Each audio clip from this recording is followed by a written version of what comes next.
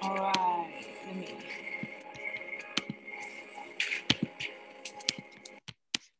All right. So, um, thank you everyone for uh, showing up today. Um, was so excited to have Mikael Owunna and um, his Infinite Essence series at Prizer, and we're so excited to have Mikael here to talk about. Um, a little introduction um, Infinite Essence is a photography series that recasts the Black body as the eternal cosmos. In the series, in the series, um, Owunna responds to pervasive media images of Black people dead and dying and articulates an alternative vision of the Black body, making visible the divinity inherent in, in Blackness. You can see Infinite Essence at Prizer every night, um, 8 to 11 um, until May 8th. And, um, or you can uh, make uh, an appointment uh, during the day, 9 to 5, Monday through Friday, at the link, um, at the link below that I think Carrie's going to be dropping in the chat in a sec. Yep. All right. And so um, without further ado, um, I'll, Mikael Mikael Owunna is a queer Nigerian Swedish American photographer and engineer based in Pittsburgh, Pennsylvania, exploring the intersections of visual media with engineering, optics, Blackness, and African cosmologies. His work seeks to educate and elucidate an emancip- emancipatory vision of possibility that pushing, pushes African people beyond all boundaries, restrictions, and frontiers. Owunna's work has been exhibited internationally at institutions such as the Museum of Fine Arts in Houston, the Equal Justice Initiative, and National Taiwan Museum. His work has also been featured in media ranging from the New York Times to CNN, NPR, Vice, and The Guardian. His first published monograph, Limitless Africans, was awarded the Photo Evidence Book Award with World Press Photos. Um, I will pass the mic on to you, Hi, everyone. It is such a pleasure to be here tonight. Thank you all for having me. And, you know, I just wanted to first start by, um, again, thanking everybody. And today's going to be really interactive. So I think there's a lot of material that people might not have exposure to. I'm going to be discussing a bit of background about the African mythologies and cosmologies in the work. So feel free to jump in when we're talking to like ask questions. You can drop them in the chat if you want, you can even, I'm not sure if there's like a raise hand function or something, or you can even just type jump in and ask questions. So let's make it really interactive. Um, we have like a nice intimate group tonight. So I'm gonna just do a brief introduction about the series, about, about the vision for the work, share some photos, and then um, Lily and I are gonna transition into doing a facilitated conversation. So yeah, questions throughout, let's keep it interactive and really open. So I'm gonna share my screen and hope that it works. Um, Here we go.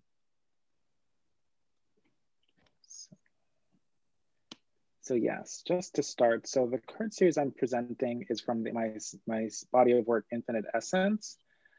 Um, in case people haven't been to Prizer yet, just wanted to give a glimpse of what the nightly illuminations look like. And so these are on view from 8 to 11 every evening up until May 8th. And so you can see some of the works here on display.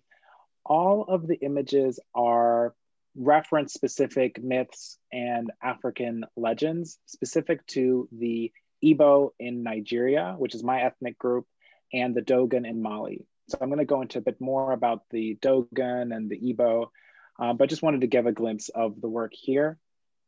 This is the last image. So there are four images that are on display. They're nice and really properly illuminated as you you can see them right from the street view, very, very COVID friendly. You know, we're always concerned about that.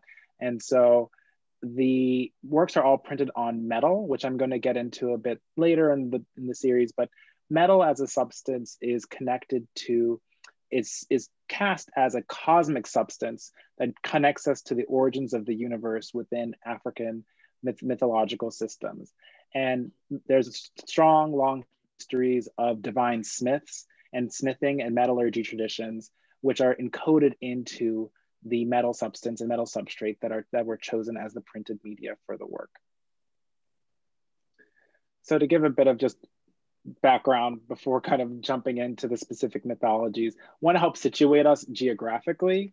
And so the two groups that I focus on again are the Dogon in Mali and the Igbo in Nigeria. And so here you can see this is where Mali is, and the Dogon live in Dogon country, which is right along the, um, the border with Burkina Faso.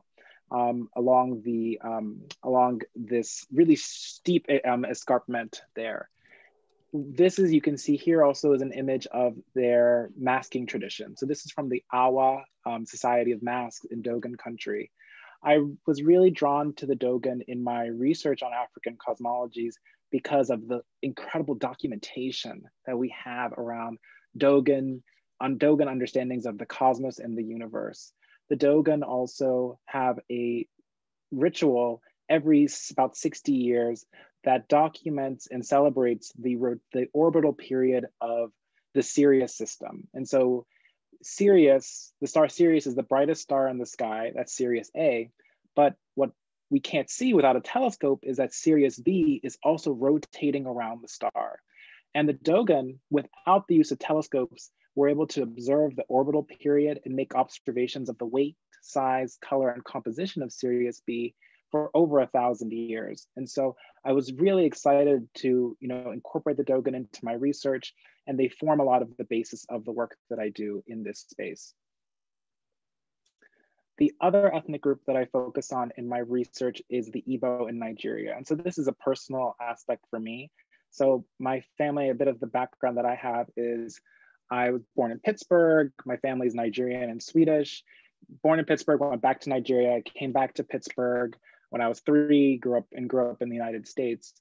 The and so I came to learning more and more about our Igbo cosmological systems actually at the very outset of the series. And so when I was struggling with a lot of these images of state violence against Black bodies, I was looking for a way to propose a visual response that would also combine my engineering background with photography.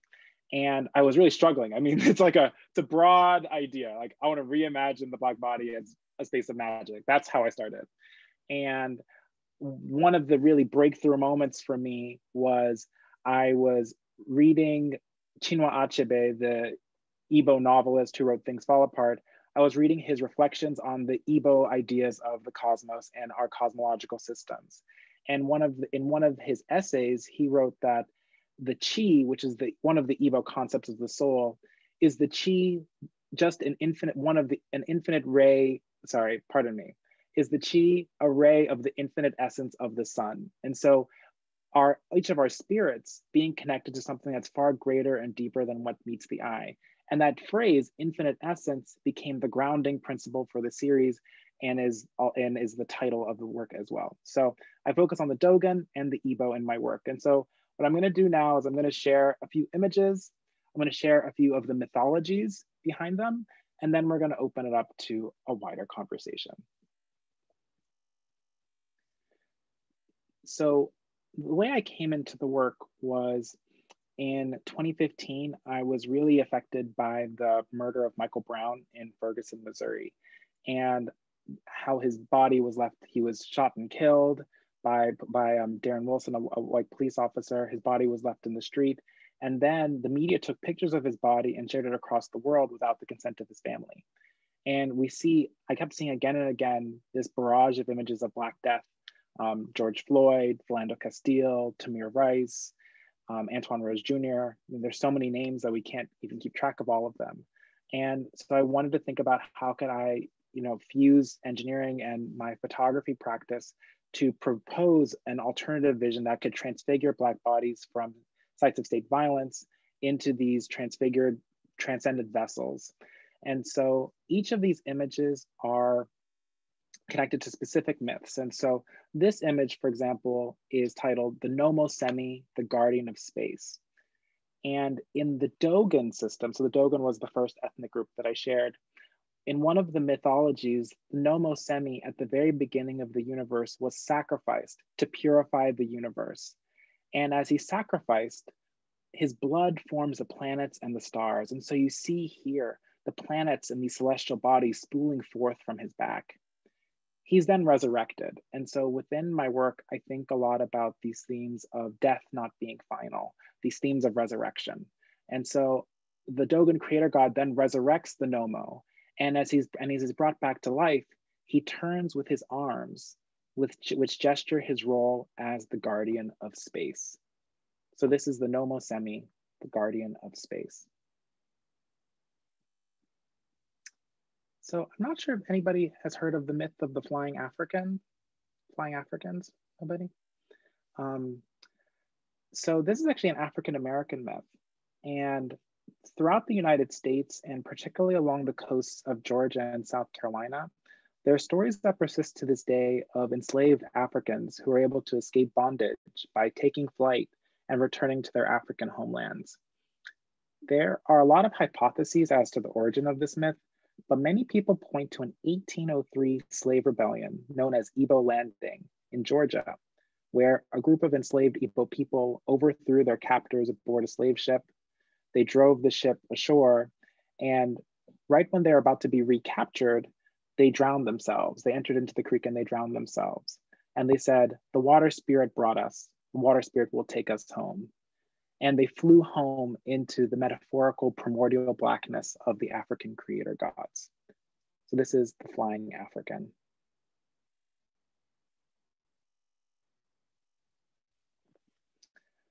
Within my research, I was really fascinated by African understandings of how our bodies are inextricably connected to the cosmos and the power of how that can be modulated through the acts of divination and ritual. So the title of this piece is Inekozo, and it's dedicated to a female Dogon diviner and priestess in the mid 1900s in, in modern Mali. And she would she would close her eyes and she would fuse blackness of her inner worlds with the blackness of outer space. And so within African systems, we see this recurring motif that blackness is this generative force from which all life emerges. And so she'd have these visionary ex experiences of celestial bodies. And in 1950, there's a documented report from French anthropologist Marcel Griaule and Germaine Dieterlen, where um, Inekozo um, documents the weight, size, composition, and color of the star Sirius B that I mentioned earlier which is a star that's impossible to detect without a telescope. And so again, these powerful ways in which black bodies have been able to connect from our, our contemporary bodies to the cosmos and the primordial. So this image is also featured in the current show at Prizer. And the title of it is Amma's Womb. And in Dogon cosmology, one of the other pieces that's really, really fascinating is this kind of primordial androgyny from which light, all life emerges. So thinking about this primordial blackness, which is infinite and contains all possibilities within it, all genders, everything is contained within this blackness as this divine principle of the universe. And in the Dogon cosmology, the universe emerges from this blackness from the womb of the primordial creator god Amma. And within his womb, he has these prefigured signs which encode all of the potentiality of the universes, universe from stellar bodies to the human fetus. And it's in this utter blackness that all beings await their gestation and form.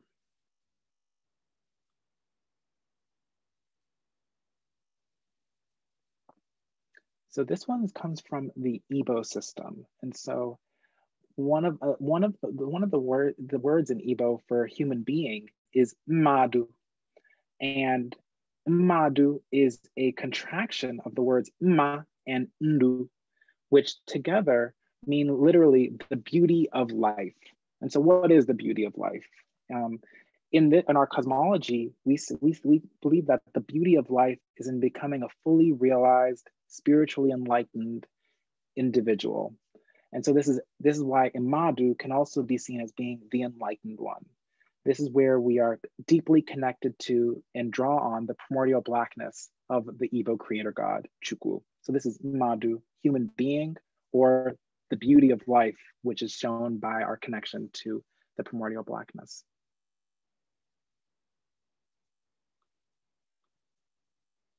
So this is just to give you all a, a sense of actually how the photos are done, just like kind of jumping outside for a moment.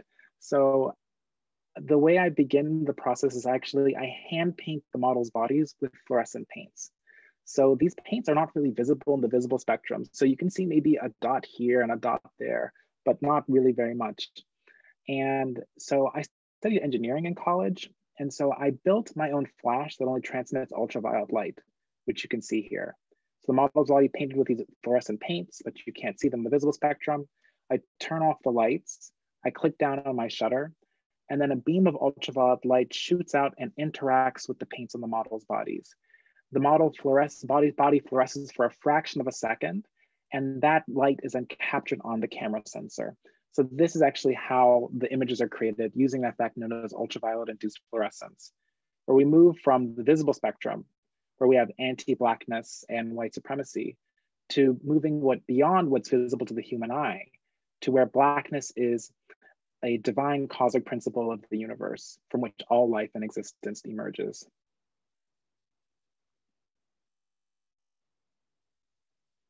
So I have to have a few more images and then we'll segue into the wider conversation. This one is from a Dogon myth of creation. Um, these are also, each of the each of the ports are also done in collaboration with models. One of this, um, the model for this image was Derek Brockington, who's a, a dancer with Dance Theater of Harlem. And so here we are invoking the myth of Lebe, which is in, in his articulations. And in the Dogon system, Lebe was the first human being to die. And when he died, he was buried, and then his body was consumed by a serpent, and then his body was then regurgitated. And it formed outlines of these colorful stones that created the outline of his body. And so this is the emergence of death into the universe, but also has this resurrection element to it, where then we're kind of reformatted into these, these colorful dots, colorful stones. And so his joints are, are form the outline of his body in these, in these stone formations known as covenant stones. And they become the focal point and they represent the most important parts of the human being in the Dogon system and there's a sacred number associated with each of them. So here we're kind of thinking through the joints within the Dogon system.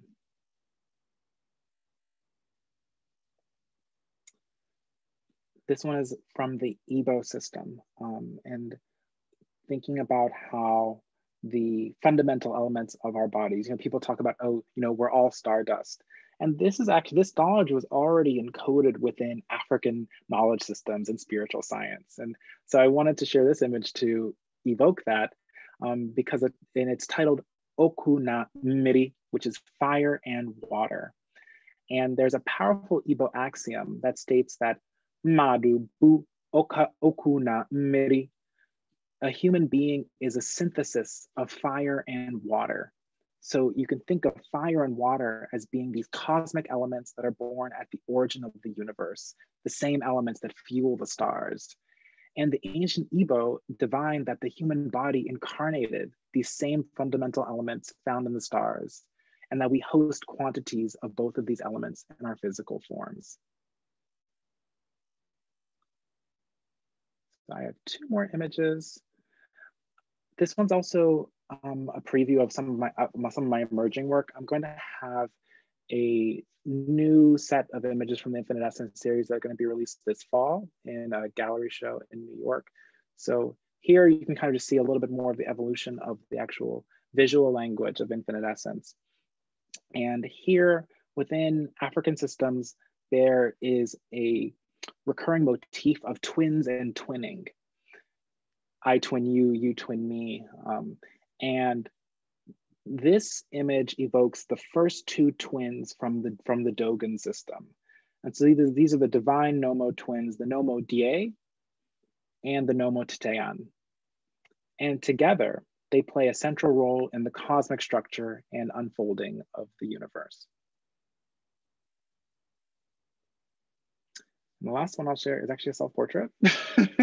so in 2018, I did a self portrait of myself for the series. And the so I actually painted my own body. I set up a tripod and in total darkness. I had the ultraviolet flash going off again and again and again and taking images. And the with this with this image, I was evoking the my own ancestral legacies. And so the title is Dibia, which is the diviner and the healer within Igbo society. And for the Dibias undergo constant and rigorous training to expand their understanding of the universe. And I descend actually from a lineage of Dibias in Abagana, Nigeria. And with this self-portrait, I was working to pay homage to their work and extend their cosmic legacy in my own way through my photography. I apologize for the dogs. and so just to show, um, you know, we started by showing some of the images at Prizer. Just wanted to share also some of the images like that are also in larger format. So at Prizer, we have um, images at 24 by 36 inches, which is the smaller of my edition sizes. And this is at the larger size of 40 by 60. Um, so these are, again, these are aluminum metal plates, a cosmic substance that evokes the origins of the universe and our divine smithing traditions in West Africa.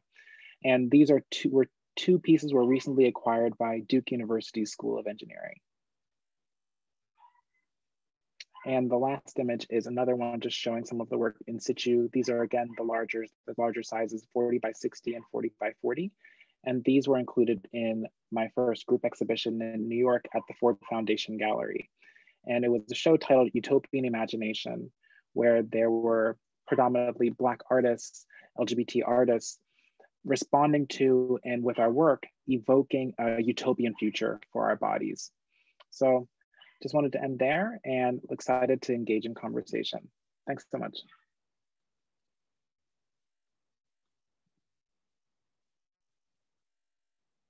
Right. Uh,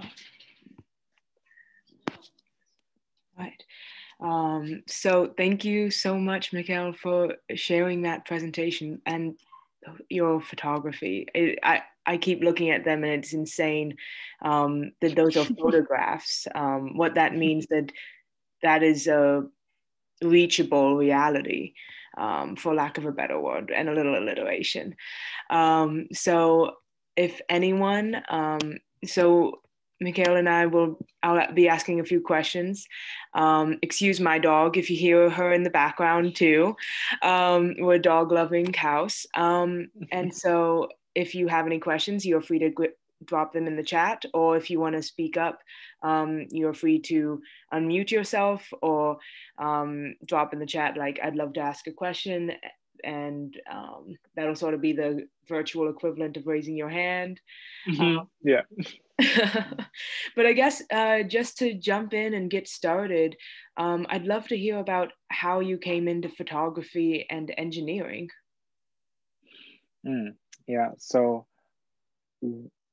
so I guess I can break it into two pieces. So, I started engineering and studying engineering in 2008. I at Duke I double majored in biomedical engineering and history, and so I came in actually I actually wanted to study biochemistry, and then my my dad was like, "Oh, you need to study something more useful." So, uh, so I was like, that's engineering actually ended up happening was family pressure. I wanted to study biochemistry. He was like, oh, that's not enough. Um, so um, I, I studied engineering and I started doing photography at the end of my freshman year of college. So at the end of my fresh, during my freshman year, um, actually we went back to Nigeria for Christmas and I was told by my members of my family, they found out about my sexuality, that, that this is not of our culture. And went through a lot of really traumatic events and series of events in Nigeria right in the middle of my freshman year. So I came back from I came back from Nigeria and I really fell into a lot a spiral of a lot of anxiety and depression, really struggling with my these two parts of my identity, being African and queer. And at the end of my freshman year, one of my friends, we were going to study actually at Oxford for a Duke and Oxford program. And one of my friends who I was going with was like, you know, we should get cameras and take pictures while we're there. And I was like, oh, sure. And so I got I got a camera. And when I picked up the camera, I mean, I tell people, you know, kind of the story in jest, but it's like, you know, I really felt like I found a voice again. You know, I really felt like I found a vehicle for ex- expression. And I did photography as a hobby during college. And then after college, I did a Fulbright, actually kind of how we connected. I did a Fulbright in Taiwan, which is where I did my first kind of major photography project. But it kind of really, the source of it was me really looking for a space of expression due to that tension between my sexuality and my African identity. Right.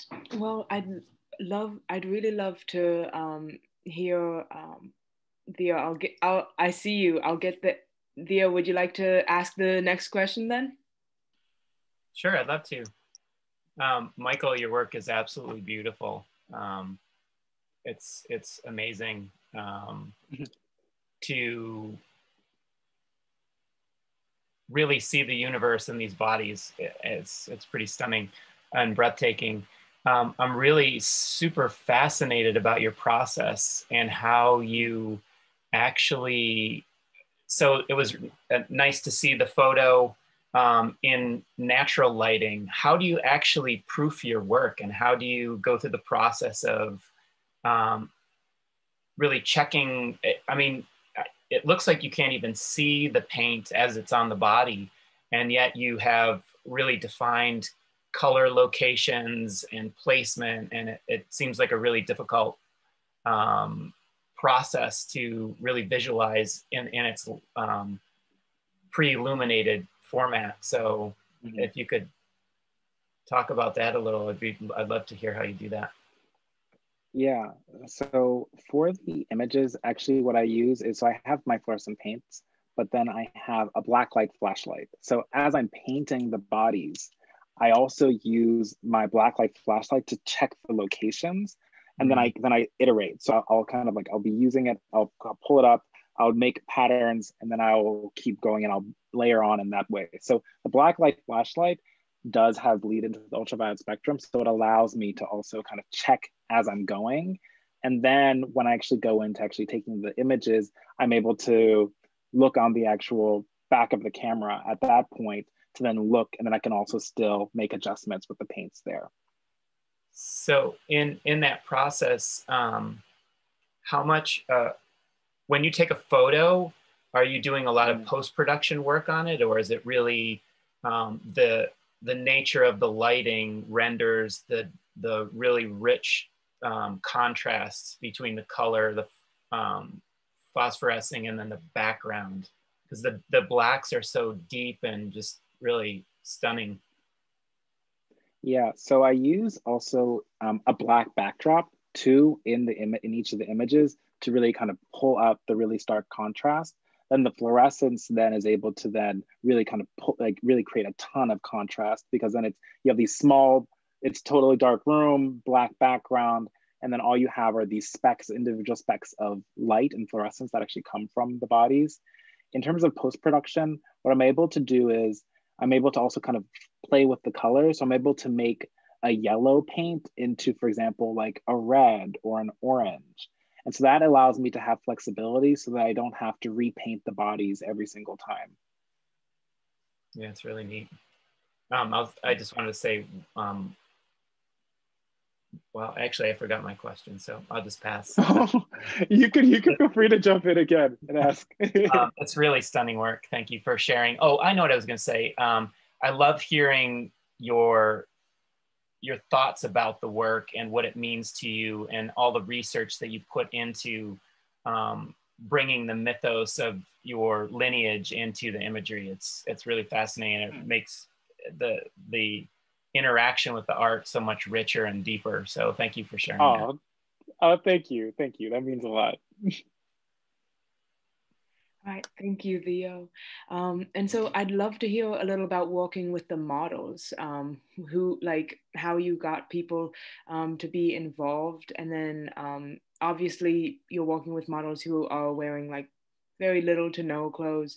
So what it's mm-hmm. like building trust um, in that sort of very intimate space. Yeah. So when so all the shoots are nude photo shoots and with the where the paints are then applied to the bodies. And so, um, so when I first began doing the work, actually, I was actually just doing portraits. So the works were not completely nude. When I moved transition to the body series, those are completely nude portraits. So when I the first images that I took from the series, I did with close uh, with friends and people I'd also collaborated with on my previous series, Limitless Africans. So I was able to, I already knew we had a sense of rapport and trust. And that was a really roughly foundational in the pieces. Also for each of the photo shoots, I invite the models to bring a friend or family member with them. And so the friend or family member acts as the photo assistant for the shoots. So, you know, when I take when the lights are turned off, the photo assistant or their friend or family member is there turning the lights off. And then I then take the, the take each take each of the photos. And so I think that's also a really important part of the actual relationship is actually having somebody that they trust and know really well there. And I also, you know, I don't really just run into just doing the photo shoots. So I usually have a almost like an informational session with the models, usually like two to three weeks ahead of time, where we talk through the process. I tell them about my vision for the work. If they're in Pittsburgh, I invite them to the studio to see the work and to see um, it actually in terms of in the printed medium. And we then we have a con- we have a conversation and just make sure that everybody feels 110% safe and comfortable with each other and then I also invite them, of course, to then bring their friend or family member with them too for the shoots. So I think that's a part of it, but it does require, you know, I think it's really important to really build that relationship ahead of time. Mm-hmm. And so, do the models, um, do they get a choice in like which story they are being depicted in, or are they just um, sort of putting themselves in your hands to, um, I guess, pose them into whichever narrative?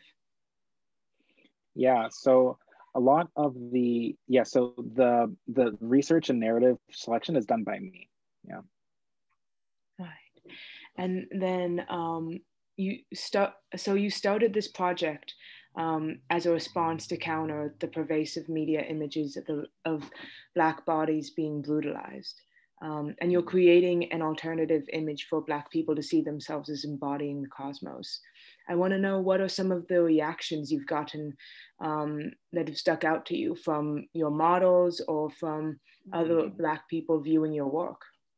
Mm-hmm. So one of the reactions I think is, I mean, I think oh, there's a few. So I think I'll say two of them, you know, for for concision. So um, or to be concise, um, pardon me. So the one of the images in the Prizer show is the image of the Nommo Semi, the garden of space, the one that's yellow and blue, the arms are up, etc.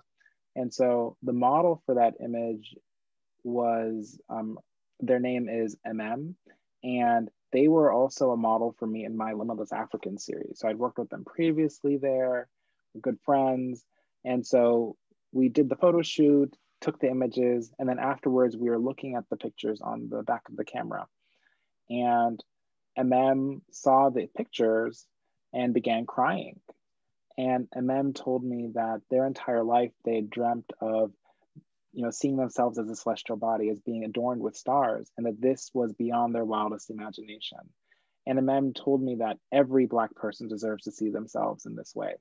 I think that was one of the phrases that kind of think really, really struck with me, that idea that every Black person, you know, the power of that self-image, that divine self-image. Um, so I think that was one of the reactions. And then I think in terms of public reactions from, from non-models looking at the work was there was a 60 year old black woman who is like heavier set, etc., who saw an NPR article which shared my shared my work and my images. And in the article, there was also featured one of my like heavier set models for the Infinite Essence series. And um, Annette um, is her name. Annette sent me an email, and it's it's publicly. It's um, she she said I could share the the narrative, etc., and um, post it on my Instagram. And she told me that her entire life she had hated her body, and for the first time in her 60 years, when she saw that image of um, Uche, who's the model, when she saw when she when Annette saw that image, she finally for a minute for a moment was able to take a breath and felt you know actually okay with herself. And even though it was temporary that that was that was a moment that she never had in her entire life. And so i think that was also a reaction that has really stayed with me in terms of how these images can you know propose an uh, propose an alternative vision for black people in terms of seeing our, our self-conception that's really powerful. And that must be very just incredible for you to experience as the artist. Um, mm. I, w- I want to point out there's actually two acts of reclamation happening in your work because you're also countering a historical bias in photography. Um, mm. because specifically, like film's original development, um, you best captured mm. like lighter skin tones. Um, can you speak on how you see um, photographers today countering that bias? Mm, interesting. Yeah, I think there's, I mean, I think in terms of the historical piece, you know, the one of like the foundations of American cinema is Birth of a Nation, you know, which was a film, you know, celebrating the KKK and demonizing Black people. So that's really the foundation of American cinema, cinematic culture. The, as you mentioned about Kodak film, etc like the film actually could not capture black and brown skin tones. And so the piece around like in terms of the, the contemporary moment, yeah, I mean, I think there's been even historically though, black photographers have been doing incredible innovations within the medium of photography to tell our stories. One, um, I was listening to a talk um, at the Whitney, a virtual talk at the Whitney. I wasn't there. A virtual talk at the Whitney um, a few months ago, and they were talking about the work of James Van Der um, really famous, acclaimed Harlem Renaissance photographer, Black Harlem Renaissance photographer. And his, his, his, photographs of the Harlem Renaissance are just incredible. I mean, he's one of my favorite photographers. So if anybody's not seen James Van Der Zee, look up James Van Der Zee. Oh my God, love him. Um, and so he, but one of the things I was pointed out was because the photographic film that was available at the time could not capture the tonalities of the red tonalities in black and brown skin tones that within his actual chemistry that was actually done in terms of the black the black room he used certain certain chemicals to bring out the tones that the standard the standard um, film was not able to do. And so those are kind of ingenious inventions and, and um, innovations that black photographers have been doing since the you know the inception of photography. And so i think continuing into this day you know there's i our road as black photographers contemporary black photographers has been paved by so many greats and i think now it's even it's so exciting because there's so many young black photographers continuing to come into the medium and really innovate and really celebrate our lives and our stories mm-hmm. And so you've moved away from labeling your work. I read somewhere you moved away from labeling your work as Afrofuturism, um, hmm. and you've instead opted more to um, identify with Astro Black mythology. Is that correct? Hmm. Uh, yeah. So so yeah. I mean, the thing is that like I understand the categorization of my work uh, with other Afrofuturist artists. So I'm not saying that people can't you know categorize my work however they want to categorize my work. I would, I would, I think in that article, what I was more evoking was how I feel so much a personal kinship for my work with the term Astro Black mythology. And specifically, that evokes a Sun Ra poem and Sun Ra, a song by Sun Ra, the jazz musician who also is really kind of seen as being a forebear to many quote unquote Afrofuturist artists. But um, Sun Ra was talking about Astro Black mythology, and in it, the astro part, of course, evokes the stars and celestial bodies, astrology. Um, black also brings in, you know, the black, the primordial blackness at the origin of the universe. You know, we can also think of black evoking ancient Egypt, which Sun Ra was very much situating his, his, his work and his tradition within an Egyptian mythological tradition. And so in ancient Egypt, the word Kemet, which is the word they actually used to describe themselves, meant the black land. And so astro, black, black evoking the black land, the blackness of the first people, the blackness of outer space, and then mythology evoking a system of knowledge, you know, that's connecting to, you know, art, science, and then spiritual science and religion to elevate human consciousness through the vehicle of mytholo- mythological systems. And so that interface between the three, which is evoked by Sun Ra, I feel like really kind of speaks to my work because I engage really specifically with mythologies as well, um, versus just you know futuristic narratives solely. And so I think there's an engagement, of course, with Afrofuturism. I think there I see more of a situation. I, I see more of a positionality for myself with that Astral Black mythology. And so, I really want to know um, more about uh, your experience doing a self portrait with this work, um, mm. and what that was like for you. So the self portrait was hard. I mean, I think all the technical aspects were hard it being totally black and darkness and taking pictures and I think also I'm taking the pictures and I'm dealing with like internalized body dysmorphia and all these different things are kind of coming up. I'm like naked. It's just so much going on. Painting. I'm all alone. It's dark. It's cold. So there was a lot happening, I would say, when I took the portrait. Also, painting yourself is really hard, I would say. Painting your own body, getting your back, like very difficult. Those are okay. So I'll those are technical aspects. So I would say, okay, I went through that. I was like there for three hours taking the portraits, and I also was really great being able to understand the experience of the models, actually going through the process and going through the work. So I was like, okay, I have a better understanding now. And when I actually looked at the images, and then was working with images, I they really challenged me to see a aspects of beauty in myself that I was really surprised about and that I didn't expect and anticipate.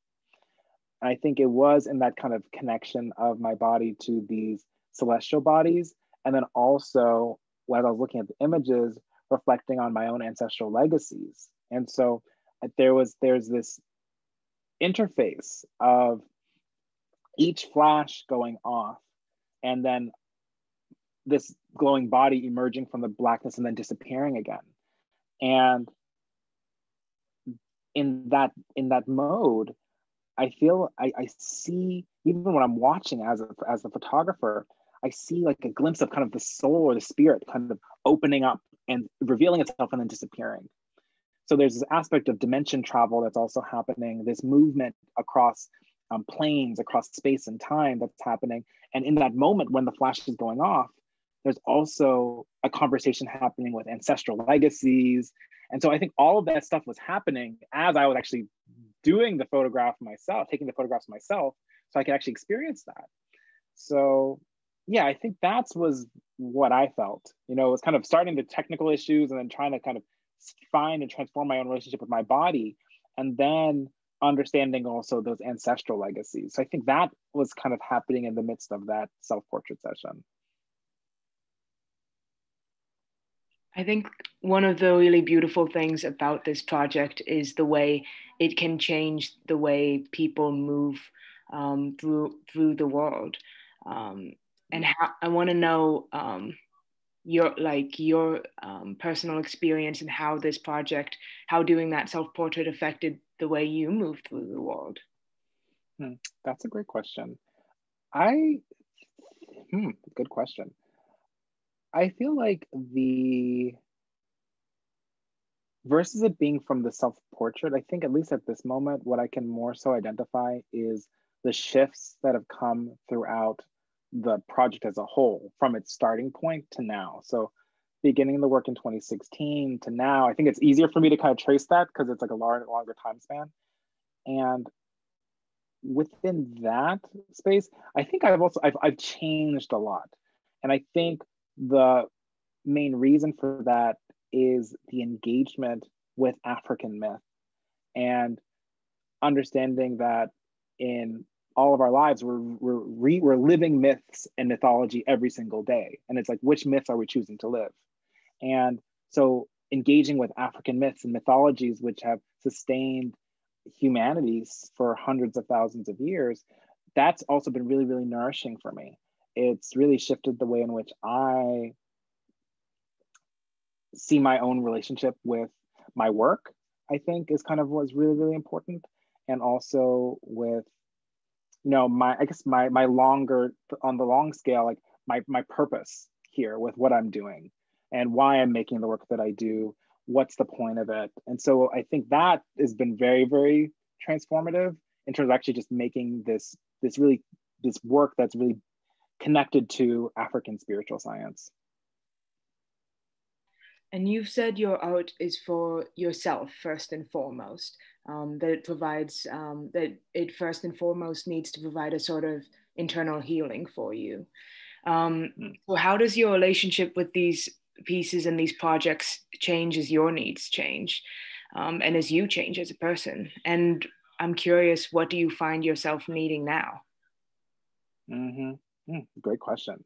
Um, it's cha- it has changed a lot. So when I be- first began the series, it was more from an engagement with thinking about quote unquote the body in the larger in the larger in the, the larger sense but actually it's in a much smaller sense because it's really a focus on form without kind of these larger understandings of what the form means and so by that, I mean that when I began, I was kind of just trying to respond to these media images by recapturing and re, kind of recasting or transfiguring the black bodies.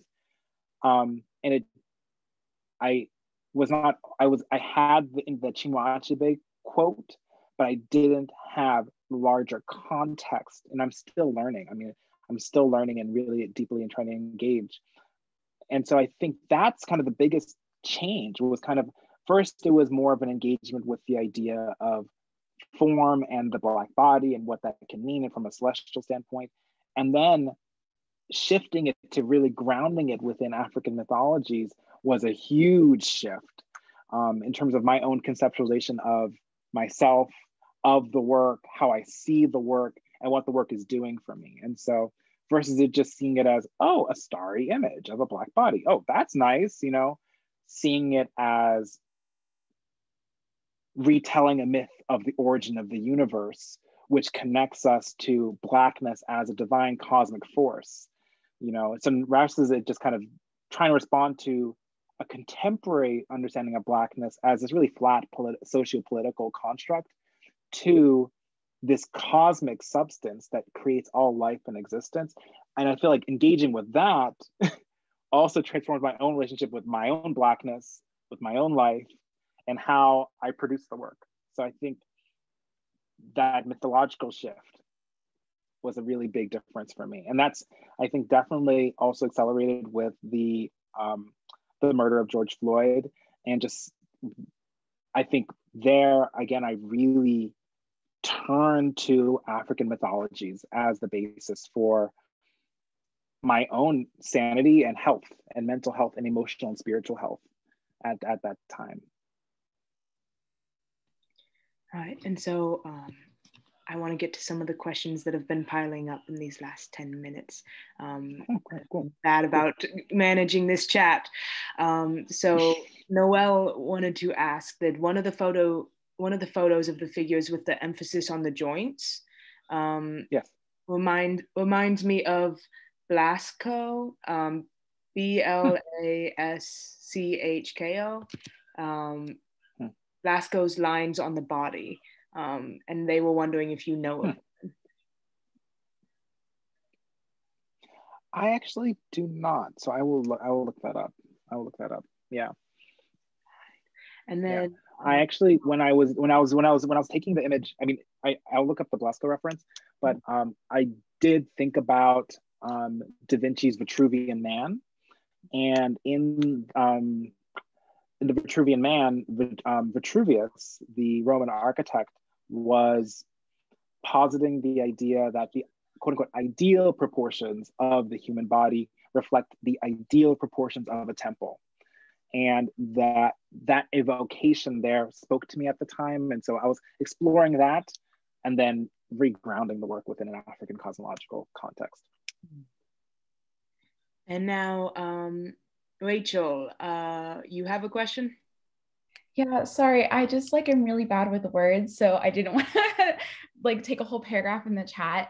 Um, well, first, I wanted to say your work is beautiful, especially um, I appreciate the portrayal of um, uh, the Black men in your work because we rarely see Black men as like graceful and soft and so and like beautiful right? Like there's always like this tone around black men so i super appreciate that um being represented in your work and i wanted to ask you um and sort of the trick of my question of this idea of you being able to name and know your ethnic group and your um, identity in Africa and also navigating the state, like the space in the US where a lot of Black Americans don't know their ancestral roots. And so, what does that mean for you being born in the US, but also knowing your identity and being able to display that in your work and also that representation for folks and being able to sort of reclaim their identity and sort of identify with your work? That's a good question. I, hmm. So, hmm. Can you specify the question? So I guess, I guess, so yeah, can you just like kind of reiterate or kind of specify it? Yeah. Sure. So I think it's a twofold question of like, for you mm-hmm. personally, mm-hmm. being able, mm-hmm. like being a Black man in America, but also knowing your ethnic identity um, mm. and what that has meant for your work and being able to navigate that mm. space and represent that, as well as the mm. response from folks, um, particularly Black Americans who may not know their ethnic origins, right, because it's been robbed from them, um, how they've been able to identify and respond to your work if it was different from your answer from earlier. Oh, okay. Yeah. So I would say for me, um,